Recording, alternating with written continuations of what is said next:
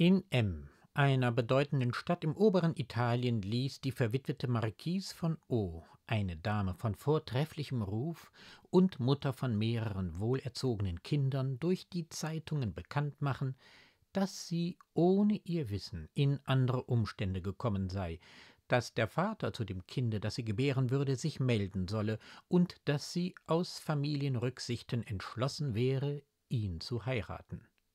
Die Dame, die einen so sonderbaren, den Spott der Welt reizenden Schritt beim Drang unabänderlicher Umstände mit solcher Sicherheit tat, war die Tochter des Herrn von G., Kommandanten der Zitadelle bei M. Sie hatte vor ungefähr drei Jahren ihren Gemahl, den Marquis von O., dem sie auf das innigste und zärtlichste zugetan war, auf einer Reise verloren, die er in Geschäften der Familie nach Paris gemacht hatte. Auf Frau von Gs, ihrer würdigen Mutter, Wunsch hatte sie nach seinem Tode den Landsitz verlassen, den sie bisher bei V bewohnt hatte, und war mit ihren beiden Kindern in das Kommandantenhaus zu ihrem Vater zurückgekehrt.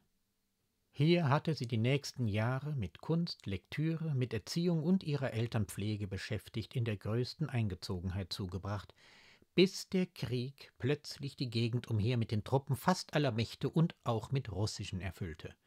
Der Obrist von G., welcher den Platz zu verteidigen Ordre hatte, forderte seine Gemahlin und seine Tochter auf, sich auf das Landgut entweder der letzteren oder seines Sohnes, das bei V lag, zurückzuziehen. Doch ehe sich die Abschätzung noch, hier der Bedrängnisse, denen man in der Festung, dort der Greuel, den man auf dem platten Lande ausgesetzt sein konnte, auf der Waage der weiblichen Überlegung entschieden hatte, war die Zitadelle von den russischen Truppen schon brennt und aufgefordert, sich zu ergeben. Der Obrist erklärte gegen seine Familie, dass er sich nunmehr verhalten würde, als ob sie nicht vorhanden wäre, und antwortete mit Kugeln und Granaten. Der Feind seinerseits bombardierte die Zitadelle. Er steckte die Magazine in Brand, eroberte ein Außenwerk, und als der Kommandant nach einer nochmaligen Aufforderung mit der Übergabe zauderte, so ordnete er einen nächtlichen Überfall an und eroberte die Festung mit Sturm. Eben als die russischen Truppen unter einem heftigen Haubitzenspiel von außen eindrangen, fing der linke Flügel des Kommandantenhauses Feuer und nötigte die Frauen, ihn zu verlassen. Die Obristin, indem sie der Tochter, die mit den Kindern die Treppe hinabfloh, nacheilte, rief, dass man zusammenbleiben und sich in die unteren Gewölbe flüchten möchte. Doch eine Granate, die eben in diesem Augenblicke in dem Hause zerplatzte, vollendete die gänzliche Verwirrung in demselben. Die Marquise kam mit ihren beiden Kindern auf den Vorplatz des Schlosses, wo die Schüsse schon im heftigsten Kampf durch die Nacht blitzten und sie, besinnungslos, wohin sie sich wenden solle, wieder in das brennende Gebäude zurückjagten. Hier, unglücklicherweise, begegnete ihr, da sie eben durch die Hintertür entschlüpfen wollte, ein Trupp feindlicher Scharfschützen, der bei ihrem Anblick plötzlich still ward die Gewehre über die Schultern hing und sie unter abscheulichen Gebärden mit sich fortführte. Vergebens rief die Marquise von der entsetzlichen, sich untereinander selbst bekämpfenden Rotte bald hier, bald dorthin gezerrt, ihre zitternden, durch die Pforte zurückfliehenden Frauen zu Hilfe. Man schleppte sie in den hinteren Schlosshof, wo sie eben unter den schändlichsten Misshandlungen zu Boden sinken wollte, als, von dem Zetergeschrei der Damen herbeigerufen, ein russischer Offizier erschien und die Hunde, die nach solchem Raub lüstern waren, mit wütenden Hieben zerstreute. Der Marquis schien er ein Engel des Himmels zu sein. Er stieß noch dem letzten viehischen Mordknecht, der ihren schlanken Leib umfasst hielt, mit dem Griff des Degens ins Gesicht, das er mit aus dem Mund vorquellendem Blut zurücktaumelte, bot dann der Dame unter einer verbindlichen französischen Anrede den Arm und führte sie, die von allen solchen Auftritten sprachlos war, in den anderen von der Flamme noch nicht ergriffenen Flügel des Palastes, wo sie auch völlig bewusstlos niedersank. Hier traf er, da bald darauf ihre erschrockenen Frauen erschienen, Anstalten, einen Arzt zu rufen, versicherte, indem er sich den Hut aufsetzte, dass sie sich bald erholen würde, und kehrte in den Kampf zurück. Der Platz war in kurzer Zeit völlig erobert, und der Kommandant, der sich nur noch wehrte, weil man ihm keinen Pardon geben wollte, zog sich eben mit sinkenden Kräften nach dem Portal des Hauses zurück, als der russische Offizier, sehr erhitzt im Gesicht, aus demselben hervortrat und ihm zurief, sich zu ergeben. Der Kommandant antwortete, dass er auf diese Aufforderung nur gewartet habe, reichte ihm seinen Degen dar und bat sich die Erlaubnis aus, sich ins Schloss begeben und nach seiner Familie umsehen zu dürfen. Der russische Offizier, der nach der Rolle zu urteilen, die er spielte, einer der Anführer des Sturms zu sein schien, gab ihm unter Begleitung einer Wache diese Freiheit setzte sich mit einiger Eilfertigkeit an die Spitze eines Detachements, entschied, wo er noch zweifelhaft sein mochte, den Kampf und bemannte schleunigst die festen Punkte des Forts. Bald darauf kehrte er auf den Waffenplatz zurück, gab Befehl, der Flamme, welche wütend um sich zu greifen anfing, Einhalt zu tun und leistete selbst hierbei Wunder der Anstrengung, als man seine Befehle nicht mit dem gehörigen Eifer befolgte. Bald kletterte er, den Schlauch in der Hand, mitten unter brennenden Giebeln umher und regierte den Wasserstrahl. Bald steckte er, die Naturen der Asiaten mit Schaudern erfüllend, in den Arsenälen und wälzte Pulverfässer und gefüllte Bomben heraus. Der Kommandant, der inzwischen in das Haus getreten war, geriet auf die Nachricht von dem Unfall, der die Marquise betroffen hatte, in die äußerste Bestürzung. Die Marquise, die sich schon völlig ohne Beihilfe des Arztes, wie der russische Offizier vorhergesagt hatte, aus ihrer Ohnmacht wieder erholt hatte und bei der Freude, alle die ihrigen gesund und wohl zu sehen, nur noch um die übermäßige Sorge derselben zu beschwichtigen, das Bett hütete, versicherte ihn, dass sie keinen andern Wunsch habe, als aufstehen zu dürfen, um ihrem Retter ihre Dankbarkeit zu bezeugen. Sie wusste schon, dass er der Graf F Obristenleutnant vom Jägerkorps und Ritter eines Verdienst und mehrerer anderen Orden war. Sie bat ihren Vater, ihn inständigst zu ersuchen, dass er die Zitadelle nicht verlasse, ohne sich einen Augenblick im Schloss gezeigt zu haben.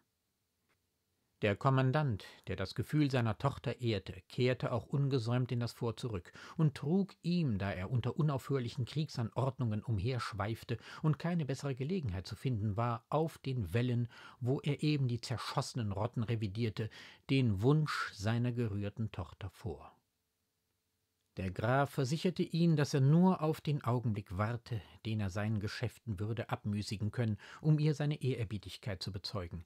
Er wollte noch hören, wie sich die Frau Marquise befinde, als ihn die Rapporte mehrerer Offiziere schon wieder in das Gewühl des Krieges zurückrissen.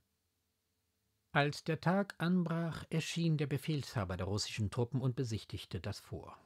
Er bezeugte dem Kommandanten seine Hochachtung, bedauerte, dass das Glück seinen Mut nicht besser unterstützt habe und gab ihm auf sein Ehrenwort die Freiheit, sich hinzubegeben, wohin er wolle.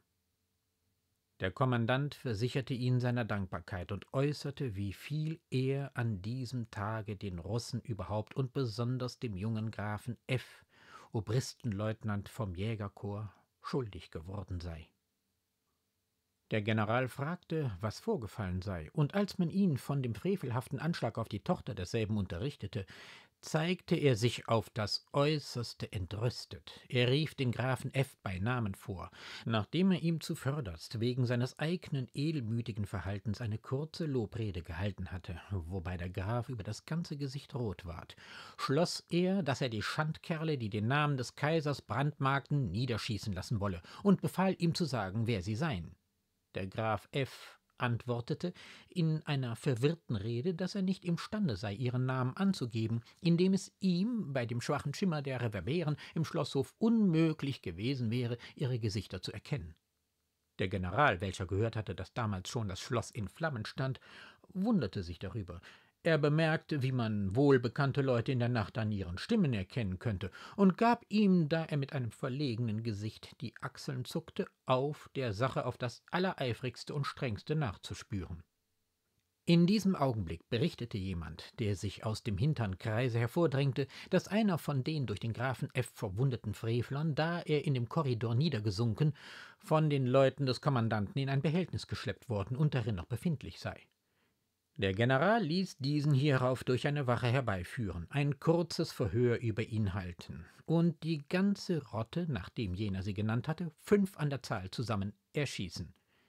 Dies abgemacht gab der General nach Zurücklassung einer kleinen Besatzung Befehl zum allgemeinen Aufbruch der übrigen Truppen. Die Offiziere zerstreuten sich eiligst zu ihren Korps. Der Graf trat durch die Verwirrung der Auseinandereilenden zum Kommandanten und bedauerte, dass er sich der Frau Marquise unter diesen Umständen gehorsamst empfehlen müsse, und in weniger als einer Stunde war das ganze Fort von Rossen wieder leer. Die Familie dachte nun darauf, wie sie in der Zukunft eine Gelegenheit finden würde, dem Grafen irgendeine Äußerung ihrer Dankbarkeit zu geben. Doch wie groß war ihr Schrecken, als sie erfuhr, dass derselbe noch am Tage seines Aufbruchs aus dem Fort in einem Gefecht mit den feindlichen Truppen seinen Tod gefunden habe. Der Kurier, der diese Nachricht nach M brachte, hatte ihn mit eigenen Augen tödlich durch die Brust geschossen nach P tragen sehen, wo er, wie man sichere Nachricht hatte, in dem Augenblick, da ihn die Träger von den Schultern nehmen wollten, verblichen war. Der Kommandant, der sich selbst auf das Posthaus verfügte und sich nach den näheren Umständen dieses Vorfalls erkundigte, erfuhr noch, dass er auf dem Schlachtfeld, in dem Moment, da ihn der Schuss traf, gerufen habe Giulietta, diese Kugel rächt dich, und nachher seine Lippen auf immer geschlossen hatte. Die Marquise war untröstlich, dass sie die Gelegenheit hatte vorbeigehen lassen, sich zu seinen Füßen zu werfen. Sie machte sich die lebhaftesten Vorwürfe, dass sie ihn bei seiner vielleicht aus Bescheidenheit, wie sie meinte, herrührenden Weigerung, im Schlosse zu erscheinen, nicht selbst aufgesucht habe, bedauerte die Unglückliche, ihre Namensschwester, an die er noch im Tode gedacht hatte, bemühte sich vergebens, ihren Aufenthalt zu erforschen, um sie von diesem unglücklichen und rührenden Vorfall zu unterrichten. Und mehrere Monden vergingen, ehe sie selbst ihn vergessen konnte.